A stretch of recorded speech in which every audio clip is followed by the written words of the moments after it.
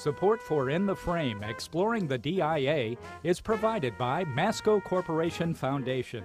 Masco is a global manufacturer of home improvement and building products.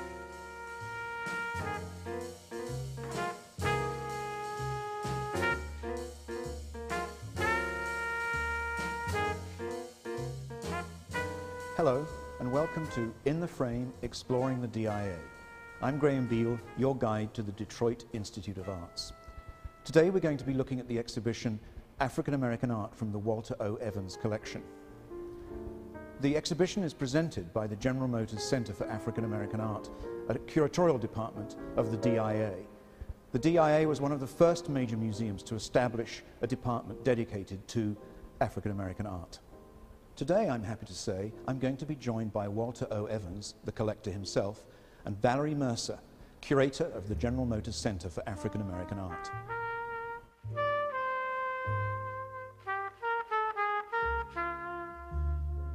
I mentioned that the work of African American artists in the 19th century was indistinguishable from European art, and seen from a distance, this picture here could well be mistaken for a Barbizon school painting. The Barbizon artists were working in the forest of Fontainebleau um, earlier in the 19th century, and they were very, very popular with American collectors in the last couple of decades of the 19th century. But in fact, this picture was done by Edward Bannister, who lived and worked around Rhode Island.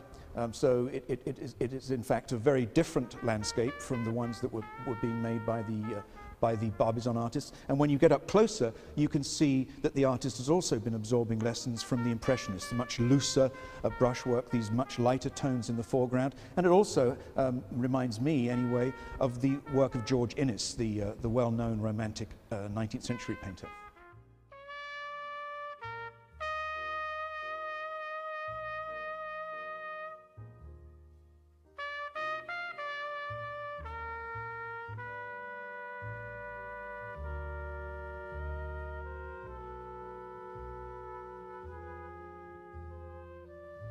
We're standing in front of uh, Flight of the Eagle by Robert Scott Duncanson. Robert Scott Duncanson is well known in the city of Detroit, having lived here on several of occasions. He was actually born in upstate New York, Seneca, New York, in 1821. He eventually traveled to Europe with uh, William Sonntag, who was one of the most noted Hudson River School artists in the country. And on one of their return trips, William Sonntag stayed in New York and Robert Scott Duncanson became one of the most popular Hudson River School artists in what was called the West at that time. Robert Scott Duncanson lived in Detroit and died in Detroit in 1871. Flight of the Eagle, painted in 1856, was done during Duncanson's best period. It is in the Hudson River School type uh, painting style, which is typically American. Uh, other members of the Hudson River School painting style are Frederick Church and William Sonntag. This painting is in that typical style where nature is supreme. Nature uh, trumps mankind, and uh, it is nature that is focused on so much in the Hudson River School style of painting.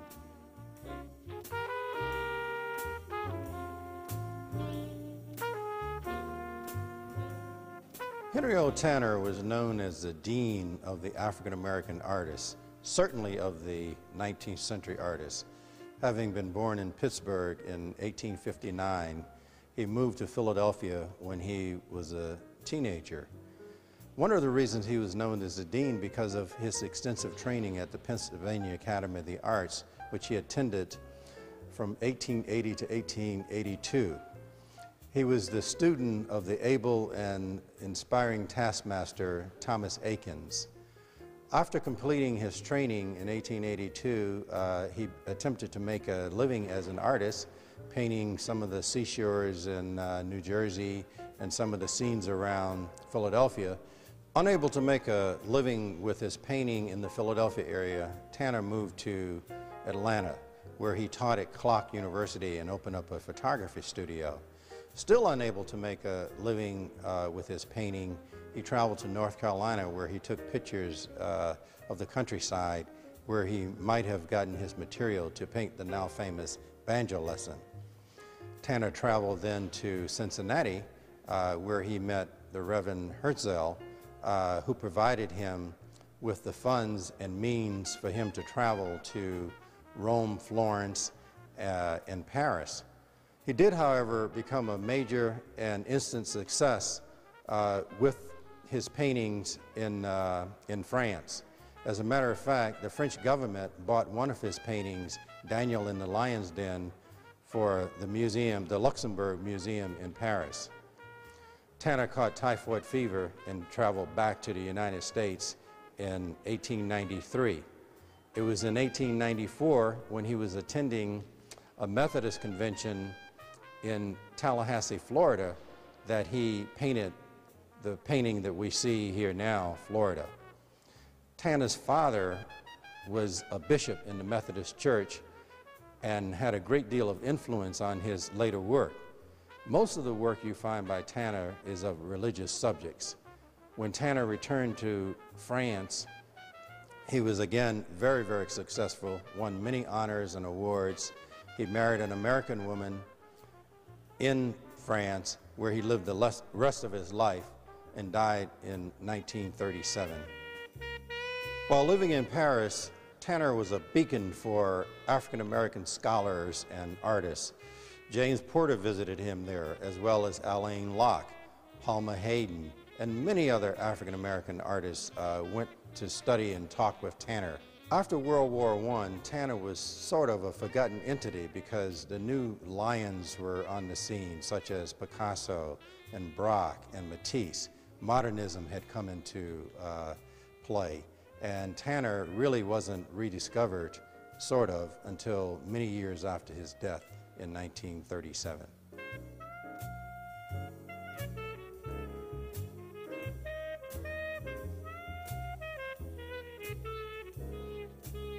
We're viewing the white marble sculpture created by Mary Edmonia Lewis in the year 1866. Mary Edmonia Lewis lived a very interesting life. She was born in upstate New York, supposedly for uh, having an African American father and a Chippewa Indian mother. When she was in high school at Oberlin University in the 1850s, she was embroiled in a controversy in which she was accused of poisoning her roommates. Later, after dropping out of, uh, out of, out of high school, she wound up in Boston, in which she studied uh, marble sculpture. And uh, after the Civil War, she moved to Rome, Italy, where this uh, piece was created in the year 1866. The Wooing of Hiawatha was based on the Longfellow poem, The Song of Hiawatha. Many artists were doing works based on this poem uh, during this time. After it was a very popular theme for artists to work on. You will find at least two other versions of the same wooing of Hiawatha under the name the Old Indian Arrow Maker and his daughter. Uh, however, it's believed that this is the first because she carved it, this title into the base of the uh, sculpture. She did many uh, other themes on uh, the Song of Hiawatha. Uh, for instance, also in this gallery, the marriage of Hiawatha, and many others. Because of her Native American background, uh, she did many sculptures based on her heritage.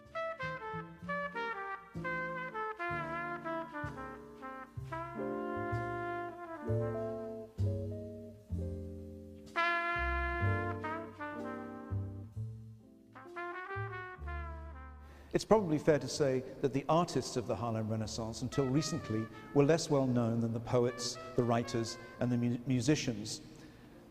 But even so, the small group that was working there established a way of working that predominated in African American art through the 40s, 50s, and into the 60s.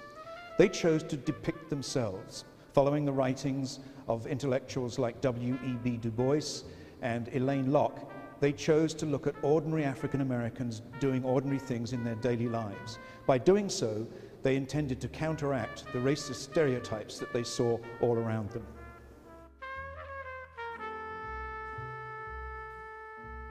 Jacob Lawrence was one of the most significant artists to come out of the Harlem Renaissance, and he was also one of the youngest Uh, born in 1917, he was still in his early 20s when the 1930s came to a close.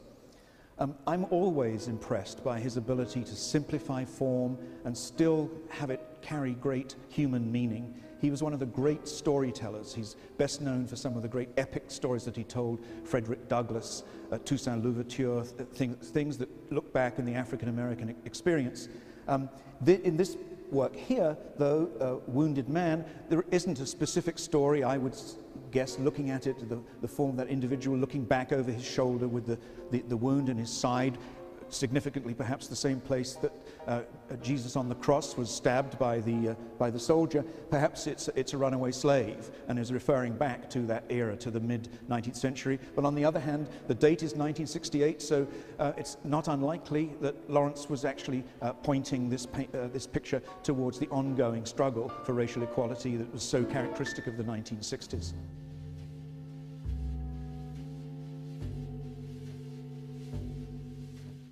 Still Life with Chrysanthemums was painted by the artist Palmer Hayden in 1938. It refers to the ordinary activities in which we all participate daily, such as gathering flowers.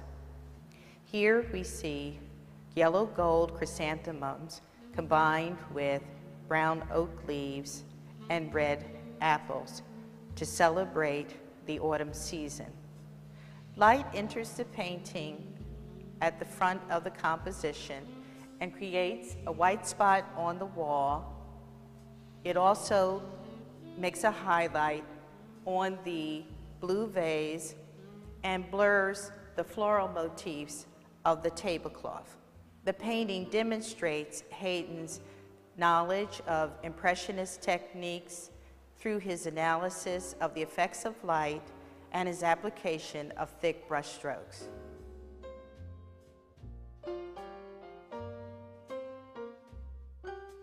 Reviewing a work of art that I had commissioned by Elizabeth Catlett in 1984, I asked her to create a work of art for me based on uh, her friendship and knowledge of black women poets. And she created this work called Homage to Black Women Poets.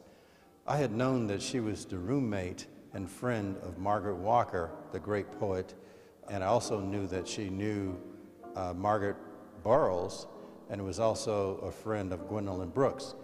These were all friends of mine, and I had invited Margaret Walker to Detroit on several occasions.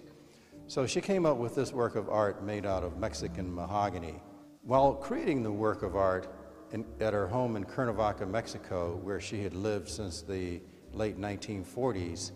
I went down to visit her on several occasions and uh, actually saw the progress of the work being done.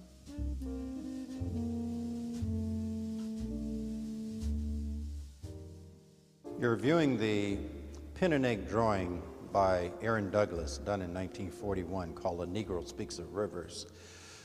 This drawing was done based on the poem by Langston Hughes. In fact, this painting or drawing was given to Langston Hughes after it was created, uh, based on the Hughes poem that was created in about 1923. Uh, this was Hughes's, one of Hughes's earliest poems and one of his most lasting poems and became his most uh, famous poem. It speaks of I've known rivers, mighty rivers, and it speaks of the Euphrates, the Mississippi, the um, Congo, and the Nile. And all of these are depicted in this painting, which was done many years later. I acquired this painting from one of the ladies who had one time worked with Langston Hughes uh, many years after Hughes and uh, Douglas had died. Um, so I'm the second owner of this painting after Langston Hughes. Aaron Douglas was born in Topeka, Kansas in 1899. Uh, he received his Bachelor's of Fine Arts from the University of Nebraska. He found his way to New York during the Harlem Renaissance era and became probably the most influential artist during that era. He was a graphic designer and did many works for the Crisis magazine and for the Opportunity magazine uh, hired by W.B. Du Bois and Charles S. Johnson. He was heavily influenced by Winold Reiss and uh, went on to become uh, known for the style, the Art Deco style that you see represented in this drawing.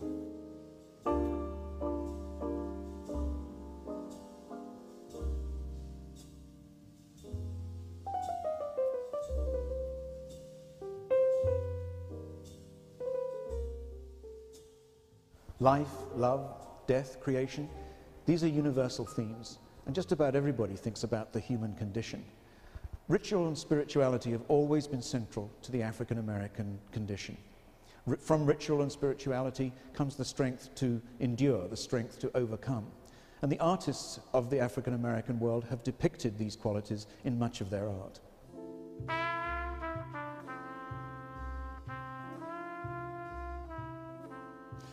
Jacob Lawrence was born in Atlantic City in 1917.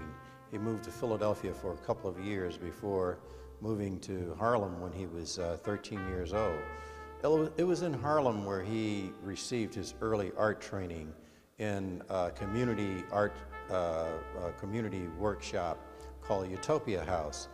Later, he received some formal training from Augusta Savage, uh, who worked for the WPA and taught for that uh, organization uh, during those years. Early in Lawrence's career, he began painting in series. In other words, he was a narrative painter. Uh, for instance, his most critical uh, series was the Migration series, which depicted the migration of the Negro from the South to the North during the 20s and 30s. This series received widespread attention and was printed in Fortune magazine. Uh, it was also purchased, uh, the odd numbers were purchased by the uh, Phillips Museum in Washington, D.C., and the even numbers were purchased by the Museum of Modern Art in New York. There were a total of 60 panels in this series. What we're seeing here in this um, series is the Genesis series, which Jacob created during the 1980s. We're reviewing number seven of eight of the Genesis series, and God created man and woman. Jake painted, uh, he considered this one painting. All eight paintings would be one. First, he would put in the red colors, then he would put in the blue colors, and he mostly worked in primary colors. He also had uh, symbols, such as the toolbox that we see here and the vase that we see here. And I once asked Jake, why is there no flower vase in panel number six. And he said it just didn't fit aesthetically. I also asked him what was the meaning of the toolbox. And he just said that it was his respect for workers that um, he created uh, and placed a toolbox in each one of these paintings. But you might note that from the 70s on, he had many uh, paintings that referred to builder series and uh, had boxes. And most of the paintings that he created from the 70s on to his death in the year 2000.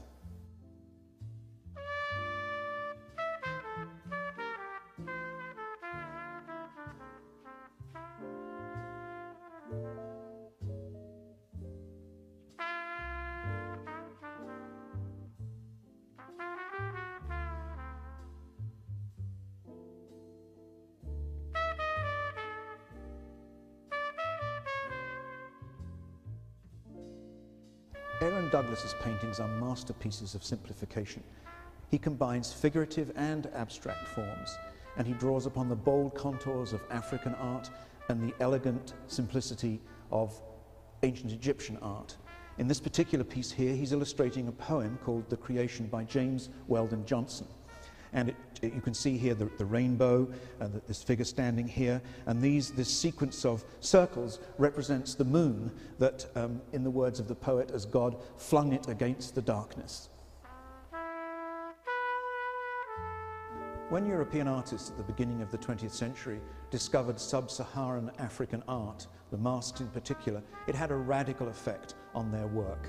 We all know about Picasso's Cubism, but it was also a step on the way to abstraction, pure abstraction in painting and in sculpture. And abstraction, in fact, beca became quite a common mode for artistic expression in the first half of the 20th century. African American artists, of course, also turned to Africa for experience, but for various reasons, they generally found that figurative art was more useful for the kinds of stories they had to tell. But after World War II, when New York became the center of, of the world um, art world, uh, abstraction really dominated through the efforts of the abstract expressionists. And at the same time, African American artists turned to abstraction and discovered a whole new world for their self expression. In 1983, I asked Richard Hunt to do this sculpture for me. It was commissioned based on the writings of writer Richard Wright. And what he came up with was this bridge. Hunt is known as an organic sculptor. In other words, much of his form comes from nature. Here you see the organically formed part over here along with a solidly based form over here. And he joins them together and forms a bridge. That portion of this work comes from a phrase in American Hunger, which was published by Wright posthumously, in which Wright states that if I cannot bring the races together as a bridge, then my life has been in vain.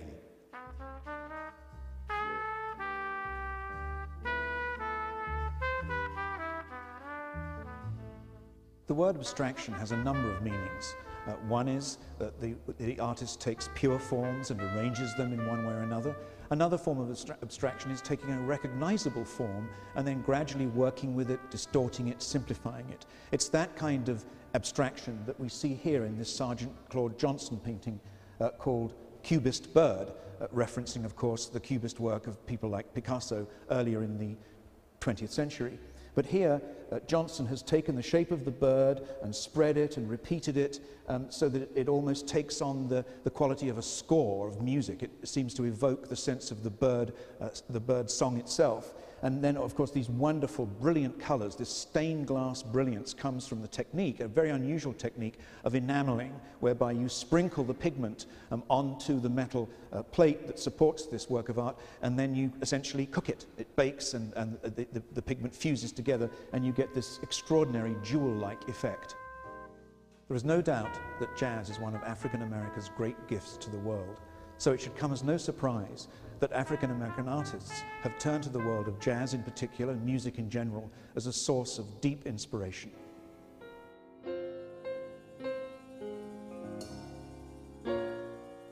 In this final gallery, all five paintings were inspired by the music art form. And in this particular case, the piano lesson by Romare Bearden, August Wilson, the playwright, was inspired to write the play The Piano Lesson. Bearden himself got the inspiration from Mary Lou Williams, uh, who was from Pittsburgh, um, who was not only a pianist, a fine pianist, but also a piano instructor. Bearden at one time lived in Pittsburgh himself, so there was that Pittsburgh connection, as August Wilson, who uh, lived in Pittsburgh at one time.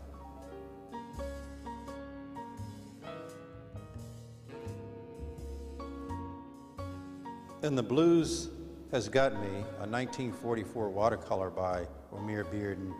Bearden uses the Cubist technique to depict his blues of jazz musicians. In Jazz Rhapsody, a commission that I asked Bearden to do for me for an album cover, he uses the collage technique. In another painting by Beauford Delaney, Ella Fitzgerald, the expatriate Beauford Delaney uh, would have known Ella Fitzgerald and would have seen her performing on many occasions. We acquired this painting in Paris where Beauford Delaney spent his last years and died. In the final painting in this gallery, a painting by Fred Jones, Enamel on Copper, we have a very unique technique in which he depicts two New Orleans jazz musicians. This was also a commission done for an album cover.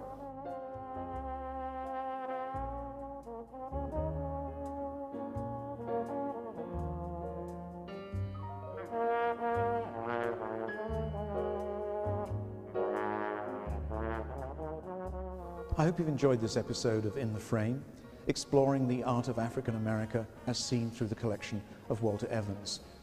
You can get up-to-date information on the DIA at dia.org. Until next time, this is Graham Beal, your guide to one of America's great museums, the Detroit Institute of Arts.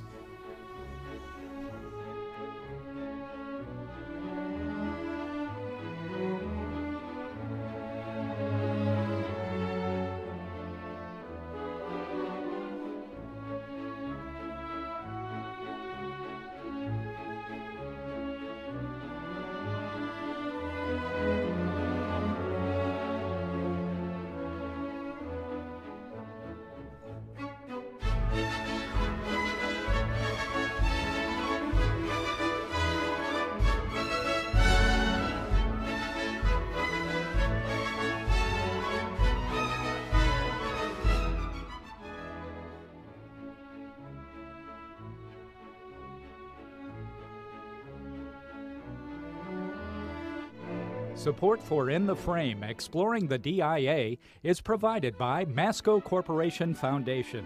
Masco is a global manufacturer of home improvement and building products.